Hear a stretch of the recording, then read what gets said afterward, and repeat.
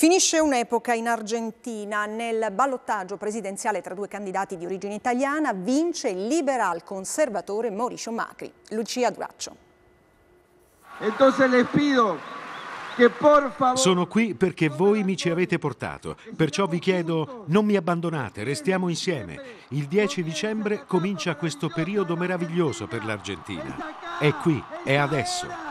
Vamos Argentina! Una pioggia di palloncini chiude un'epoca e suggella una giornata storica. Il candidato del centrodestra Mauricio Macri ha sconfitto al ballottaggio Daniel Scioli, peronista moderato. Il sindaco di Buenos Aires ha battuto il governatore, 51,4% contro il 48,6%.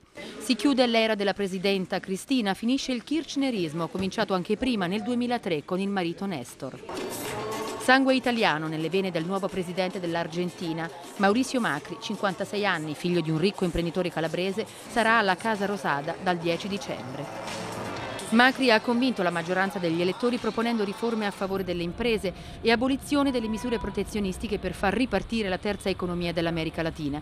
Domani il primo incontro con Cristina Kirchner. Ex presidente del club di calcio Boca Juniors, Macri in 12 anni ha ricostruito stadio e identità della squadra. Con lui 17 i titoli conquistati dal club. Ma l'Argentina non è una squadra di calcio e il pubblico non è tutto dalla parte di Mauricio. Quello che Macri eredita è un paese diviso a metà, tra chi non vuole rinunciare a un welfare generoso e chi chiede un'economia più libera che torni a crescere. Come sintetizza un quotidiano di Buenos Aires, un presidente, due paesi.